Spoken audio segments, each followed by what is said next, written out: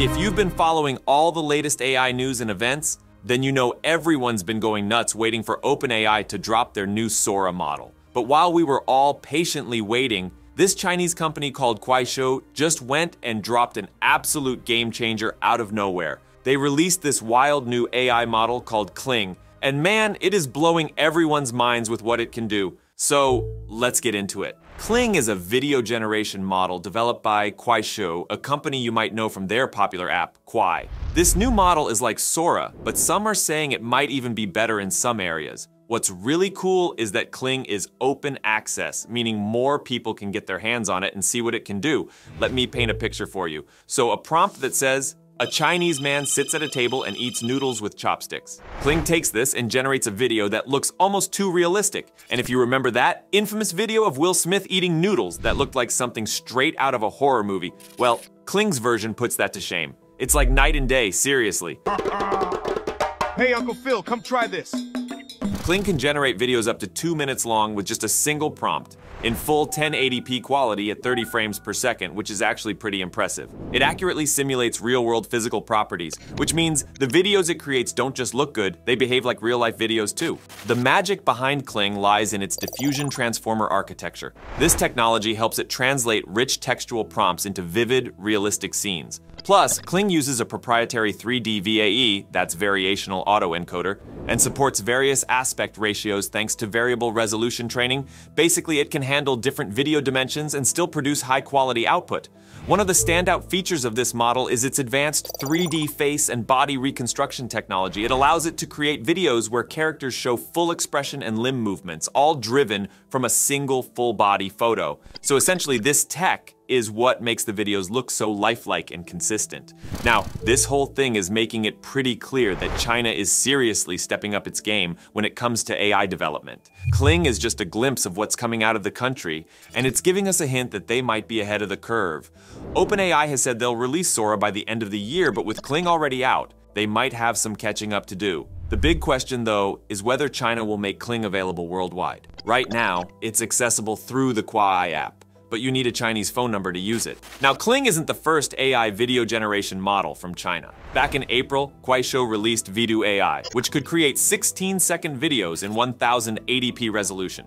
Kling is the next evolution of that, offering longer videos with even better quality. If you check out Kling's website, you'll see some of their demo videos, and let me tell you, they're pretty impressive. For example, there's a video of an emperor angelfish swimming in a rocky underwater habitat, a man riding a horse in the Gobi Desert during sunset, and even a white cat driving a car through a busy urban street. These videos showcase the model's ability to handle complex scenes and movements while maintaining high quality. The technology behind Kling involves a 3D spatiotemporal joint attention mechanism, which helps it model complex movements and generate video content with larger motions that conform to the laws of physics. So, when you see a man riding a horse in the desert, the horse's movements, the dust trails, and even the sunset in the background all look just right. Kling also uses efficient training infrastructure and extreme inference optimization.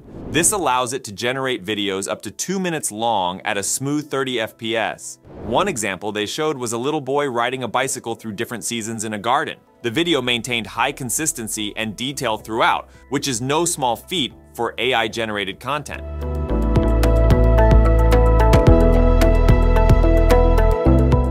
Another cool thing about this model is its strong concept combination ability, like it can take different ideas and merge them into a single coherent video. Like this prompt, white cat driving a car through a bustling city, footage like that doesn't exist in real life, but Kling can create it from scratch, making it look believable.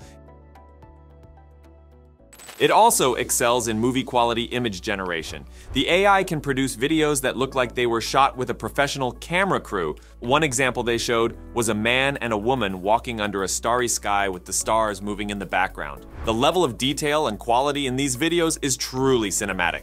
What's more, Kling supports various video aspect ratios. Whether you need a square video for Instagram, a portrait for TikTok, or a landscape for YouTube, it can actually handle it all. And this flexibility is super useful for content creators who want to use the same video across different platforms. So let's talk about some more examples from the demos. One video shows a Chinese man eating noodles with chopsticks. The details are so precise that if you saw this at a lower resolution, you might not even realize it's AI generated. Another video shows a chef chopping onions in a kitchen, and the way the onions are cut and split by the knife is incredibly realistic. But the video I mentioned before, a cat driving a car through a busy street, this one is particularly impressive because it combines a lot of different elements cars, buildings, pedestrians, and the cat's movements all in one seamless video. Another demo features a volcano erupting inside a coffee cup, showing off Kling's ability to create fictional scenes that look convincingly real. And one of my favorites is a LEGO character visiting an art gallery. The video captures the unique way LEGO characters move, just like in the LEGO movies. There's even a clever focus shift from one character to another,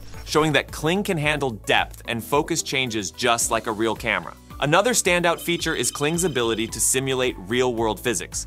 One demo shows milk being poured into a cup, with the milk flowing steadily and filling the cup realistically. This might seem simple, but it's actually quite challenging for AI to get these physical interactions right. Kling's technology is also capable of generating videos with temporal consistency. This means the AI maintains a logical flow and coherence over longer videos. In one example, a video of a train traveling through different landscapes stays consistent for the entire two minutes, which is really impressive. Overall, Kling is showing us that China is rapidly advancing in AI video generation technology. They're not just keeping up with the best models from the US. In some cases, they're surpassing them. This could lead to a competitive race in AI development with countries striving to outdo each other, which might bring both exciting advancements and potential risks. I can't wait to see how OpenAI responds to this Kling AI model from Kuaishou. It definitely seems like they're going to want to get their Sora model out there sooner than originally planned to keep up with the competition.